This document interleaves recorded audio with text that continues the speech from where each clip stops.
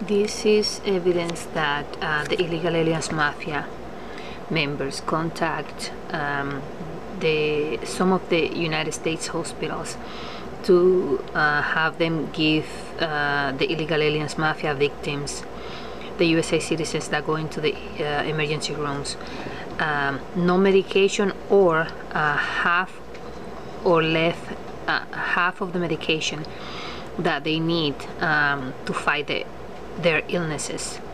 Uh, so that way they assassinate them without um, being obvious.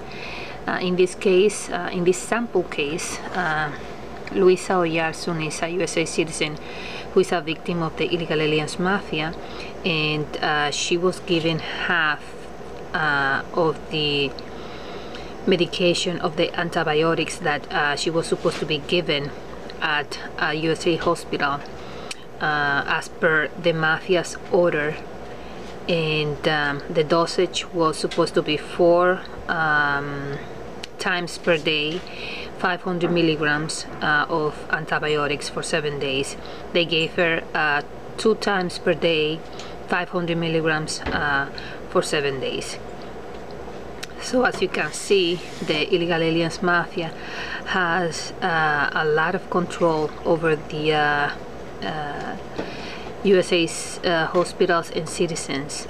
And they have um, mafia members working at different hospitals. So they are in charge of uh, assassinating the USA citizens whose identities, uh, social security and uh, pensions and government benefits uh, have been stolen by the mafia and the um, uh, illegal aliens that are working for this uh, illegal aliens mafia.